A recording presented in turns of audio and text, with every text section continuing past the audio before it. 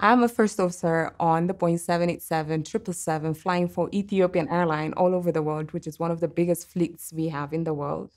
And we fly typically in 24 hours over 5,000 miles across the world.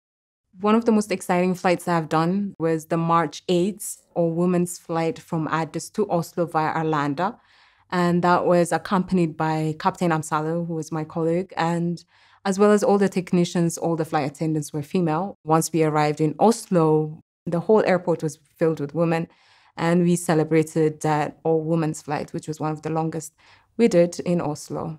It was an excellent flight. Make sure that you are confident to look into the mirror and say, this is me, this is what I'm capable of doing. And whatever interests you have, develop on them, uh, work at it, work hard, day in, day out at it, and you will accomplish. Uh, don't let anyone tell you that you're not capable of doing it.